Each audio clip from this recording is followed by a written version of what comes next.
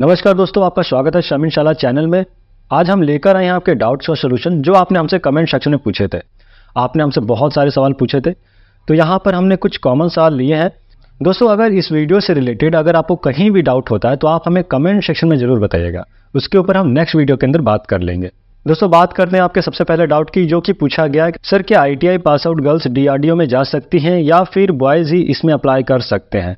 तो मैं आपको बताना चाहूँगा कि डीआरडीओ के अंदर जो वैकेंसीज आती है आईटीआई लेवल के ऊपर, वो आती है टेक्नीशियन एक ग्रेड की। और यहाँ पर एलिजिबिलिटी क्राइटेरिया की बात करूँ तो यहाँ पर बॉयज़ और गर्ल्स दोनों एलिजिबल होते हैं, ठीक है? वहाँ पर मिनिमम क्वालिफिकेशन आपके पास टेंथ प्लस आईटीआई होना ज़रूरी है। अगर आप ये क्वालिफिकेशन मैच करते हो तो चाहे आप बॉयज़ हो या फिर गर्ल्स दोनों ही यहाँ पर अप्लाई कर सकते हैं। मे बी आपका डाउट क्लियर हो गया होगा, ठीक है? अब हम बात करते हैं नेक्स्ट डाउट के ऊपर, जो कि पूछा गया है। मैंने आईटीआई वेल्डर ट्रेड से किया है क्या मुझे टाटा में क्लरिकल जॉब मिल जाएगा? तो यहाँ पर मैं आपको बताना चाहूँगा कि टाटा कंपनी के अंदर आईटीआई पास आउट कैंडिडेट्स के लिए दो जॉब पोस्ट आती है।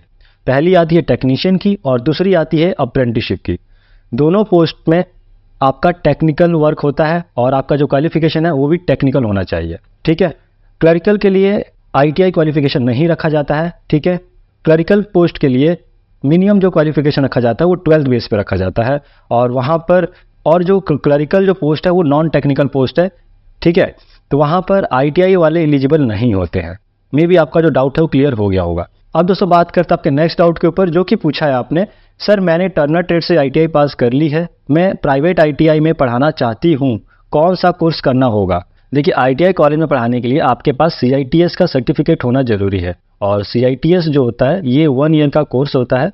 और इस कोर्स को करने के लिए आपको सबसे पहले एक ऑल इंडिया ट्रेड टेस्ट से गुजरना पड़ता है। उस टेस्ट को आपको पास करना होगा। उसके बाद आपका वन ईयर का कोर्स होता है और उस, उसके बाद ही आप किसी भी आईटीआई प्राइवेट कॉलेज के अंदर पढ़ा सकते हैं।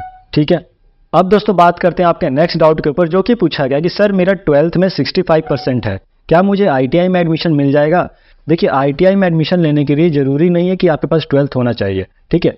क्योंकि आईटीआई के अंदर कुछ ऐसे ट्रेड है जिनका मिनिमम क्वालिफिकेशन जो है आपका एट्थ रखा गया है और कुछ का टेंथ रखा गया है। एट्थ के बेसिस पर अगर आप एडमिशन लेते हैं तो वहाँ पर आपको कुछ ऐसे ट्रेड देखने को मिलेंगे, जैसे कि वेल्डर हो गया, ठीक है, और कारपेंटर हो गया। इस टाइप की जो ट्रेड्स है, इसके अंदर एडमिशन लेने के लिए आपके पास मिनिमम क्वालिफिकेशन एट्थ रखा जाता है, ठीक है। अगर मैं बात करूँ कि और कुछ ऐसे ट्रेड है जहाँ पर मिनिमम क्वालिफिकेशन जो है टेंथ रखा जाता है, जैसे कि हो गया आपका इलेक्ट्रीशियन फीटर मशीनिस्ट ये ऐसे ट्रेड है जहाँ पर आपका मिनिमम क्वालिफिकेशन टेंथ रखा जाता है, ठीक है?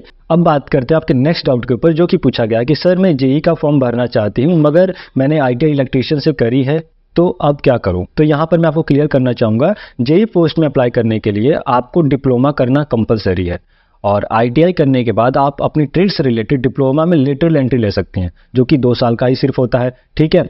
और उसके बाद ही आप किसी भी जेई पोस्ट के लिए अप्लाई कर सकते हो। क्योंकि जेई पोस्ट के लिए मिनिमम क्वालिफिकेशन जो है ऑल ओवर इंडिया वहाँ पर डिप्लोमा रखा जाता है, ठीक है? और यहाँ पर मैं आपको आईटीआई के लिए बता दूँ तो आईटीआई लेवल की जो वैकेंसी निकलती हैं, वो लगभग टेक्नीशियन पोस्ट के लिए ही निकलती हैं। दोस्तों, उम्मीद करते हैं कि आपको आपके सवालों का जवाब मिल गया है। अगर आपके मन में कोर्स या करियर से जुड़े और भी कोई सवाल हैं तो आप हमें कमेंट सेक्शन में ज़रूर बता सकते और उनका सोल्यूशन पा सकते दोस्तों, अगर आपने शमी सलाह यूट्यूब चैनल को सब्सक्राइब नहीं किया तो सब्सक्राइब कर लीजिए और वीडियोस को लाइक करना मत भूलिएगा।